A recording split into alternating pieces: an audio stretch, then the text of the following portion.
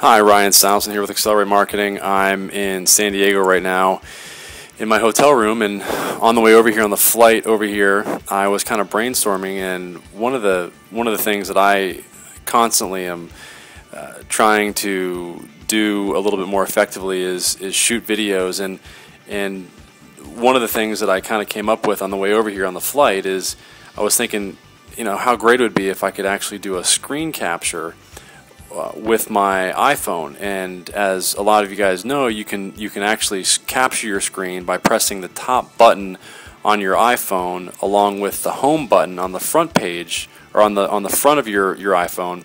So if you if you do that, you can essentially capture your screen. The question that I, that then I had was is well, how do I show people what buttons to press without being able to use something like Skitch or Jing or something else like that to show somebody where to, you know, what to press or what to click. So what I did is I just did the screen captures, and what I what I did is I basically just kind of zoomed in on the button and put a, a bottom third over the picture to show somebody what part of the screen that I wanted them to click on, and then I'm also going to create a voiceover over the picture. So let me know what you think, and I think it's a great way to create a screen capture tutorial for on the fly, you know, with with iMovie mobile so that you can create these movies wherever you're at and create tutorials for people wherever they're at. So anyway, hope this helps. Let me know if, if you like it. Please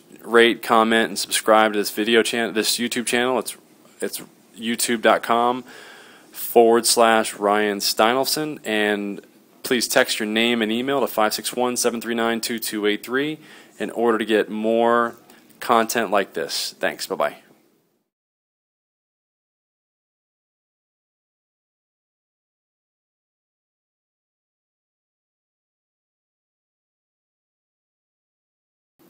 After you've opened up iMovie, just uh, start by tapping the plus button on the home screen and then go to open the uh, media by clicking on the media button and select the photo button tap on the photo button.